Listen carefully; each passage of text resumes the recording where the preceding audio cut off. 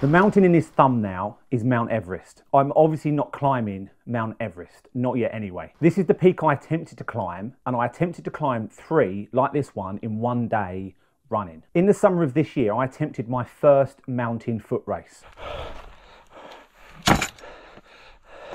It's officially known as the Yorkshire Three Peaks Challenge. We're now on the climb to the first peak. There's some ants in the distance climbing people climbing up to the uh, first peak.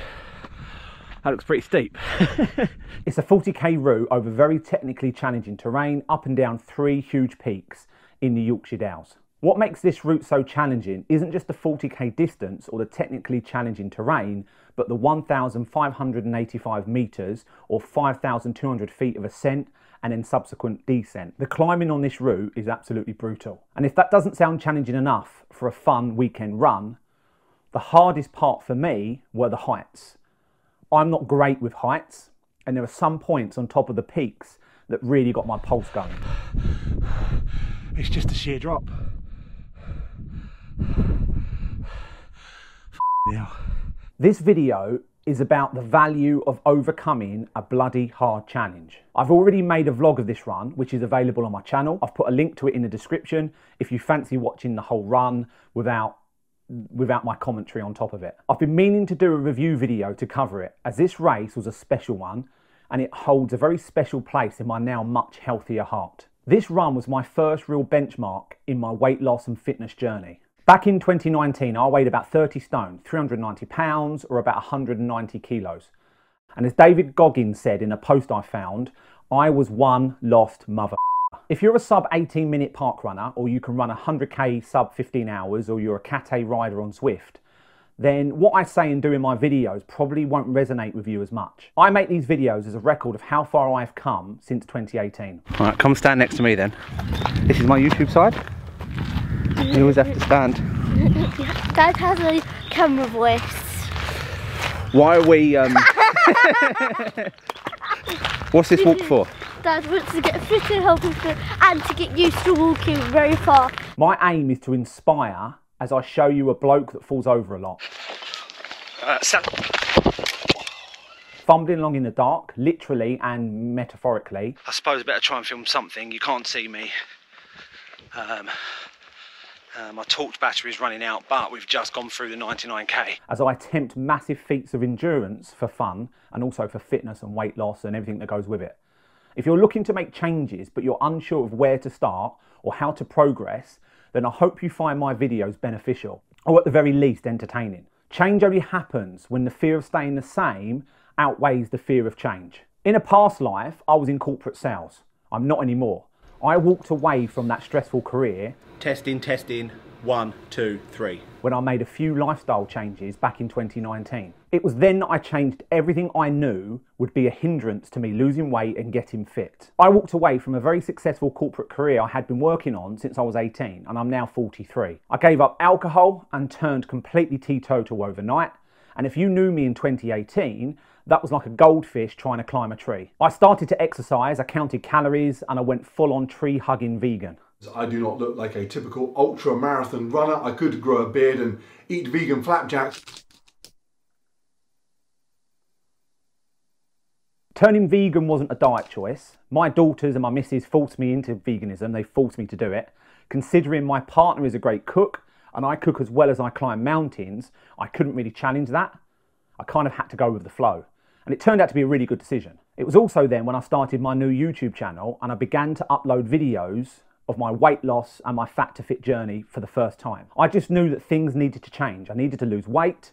I didn't know how to do it, so I changed everything. Before I walked away from my career in 2019, I used to be responsible for over 100 employees in a fast paced, high pressured corporate sales environment. We review performance, and our end game is to have this group operating at the best possible performance level. Well, good. I can't find the button. I was accountable for motivating and training that large team of people. That was my responsibility. I learned very quickly then that most individuals revert to the course of least resistance if left unchallenged. They take the easiest route, that's inside their comfort zone. So I regularly forced myself out of my comfort zone early on in my career that separated me from everyone else around me, and that's when I learned that I'm really good at two things. The first was pushing myself to do better, and the second was motivating others to push themselves to do better. I learnt then that hiding in plain sight or taking the easy route wouldn't cut it if I wanted to be successful. I say all this because, in the context of fitness and weight loss, it's far easier to sit on the sofa and order food on a delivery app than it is to plan and execute the steps needed for change in your life. When I decided to change my lifestyle, weighing probably about 30 stone or 190 kg, I say probably as embarrassingly the bathroom scales I owned at the time only went up to 27 stone maximum. And it took me ages to get down from whatever the hell I weighed to 27 stone so the scales could eventually track my progress. For me, the fear of staying the same outweighed the fear of change. Right. So, what's uh, Can't see a thing. what's uh, what's the time? Yeah. Half five.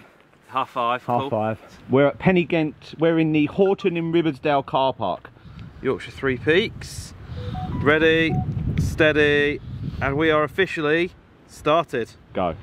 And then, so in 2020, as part of my ongoing plan to change, I convinced two old work colleagues to attempt a walking challenge with me, one I'd read about online called the Yorkshire Three Peaks Challenge.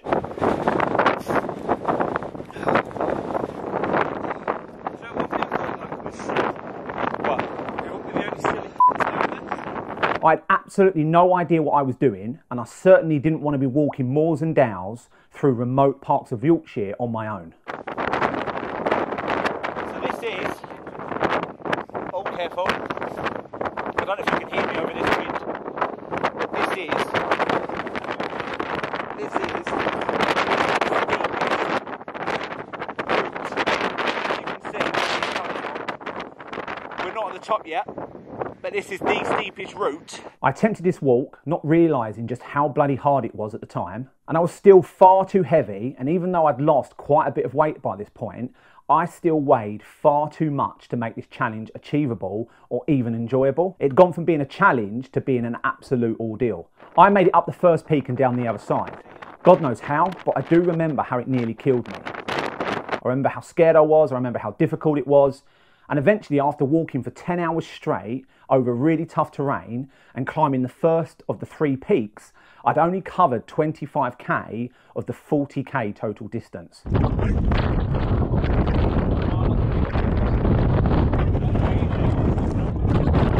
This is when the wheels completely fell off for me. I remember reading that the expected completion time for able walkers was 12 hours. We were barely halfway in, with the two biggest peaks still to climb, and it had taken me 10 hours. At this pace, I would struggle to finish before dark, and we started at half five in the morning. I was exhausted. The terrain was now a long and steep climb to the top of the second peak, which I physically and mentally couldn't do. The weather had started to turn into weather I'd never experienced before snow and heavy driving horizontal rain.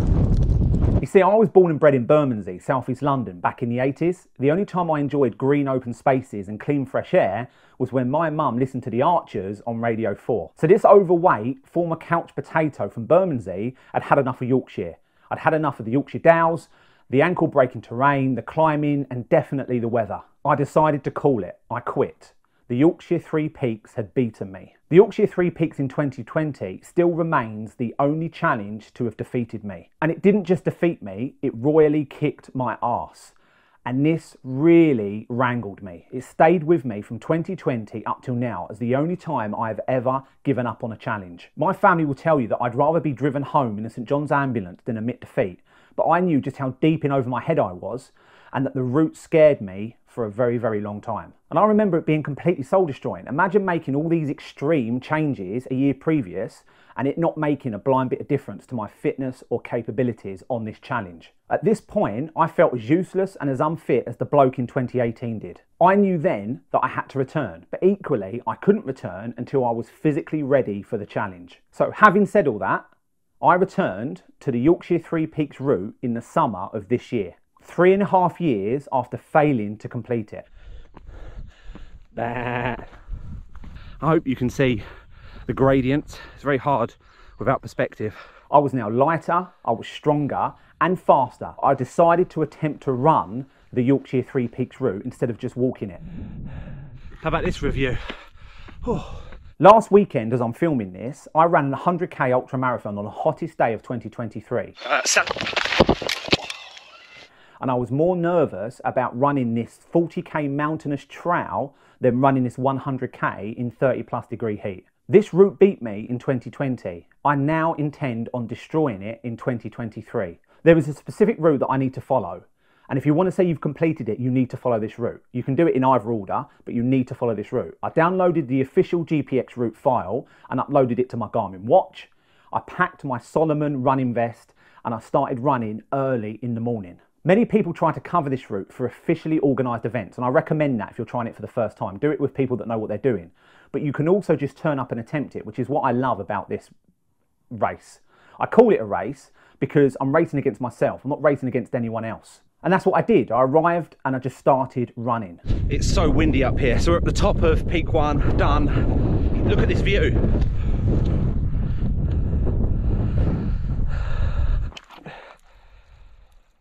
Oh my, oh my God, it's so steep. no moaning. We got this. I have no idea of distance. Literally the only thing on my watch is the map. Morning mate, you're right. So this is exactly the spot that myself and my two work colleagues called it a few years ago. I think it's called the Ribble Viaduct. It's the viaduct halfway. Peak three, done. Okay, 4K, back to the start line.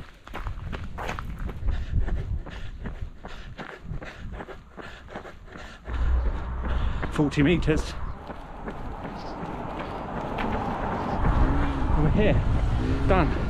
Hang on, course complete. I ran this route in 8 hours and 18 minutes. Usain Bolt once said that he trained every day for four years of his life just for one nine second race, and people quit after not seeing results within two months. Beating the Yorkshire Three Peaks for me was three years in the making. It took me three years to be able to get able bodied enough to destroy it, to go from the person I was when I first attempted it to the person I am now. This video is probably the biggest benchmark and indicator of how far I've come in just three years. In 2020, I quit this route halfway, and it took me 10 hours to reach that point. This year, I ran the whole thing in a little over eight hours. This is just a benchmark. I still have a long and exciting path ahead of me. I still have a long way to go. I now weigh 16 stone, so I'm still a heavy bloke, and I still have some things I need to do to be able to get down to my target weight. I still have things I need to accomplish, and every day these ambitious targets get closer and more achievable. When I see benchmarks like this, the Yorkshire Three Peaks being smashed, for example, I know that the hard work and determination I've had over the last three or four years has been great. That's real progress. So I suppose my point of this video is don't just give up because you're not seeing immediate results. If you're doing something, anything, then it's working because you're not sat on that sofa ordering overpriced pasties from Greggs on your phone. You're trying to execute your plan. And if you don't know what you're doing, it doesn't matter because you're still doing more than most.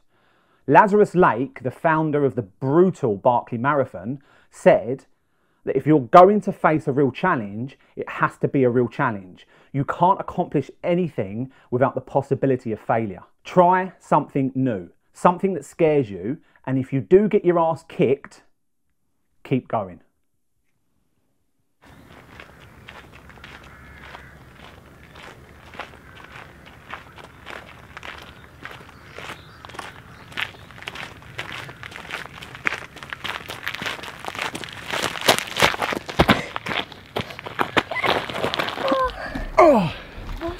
Is that a good one?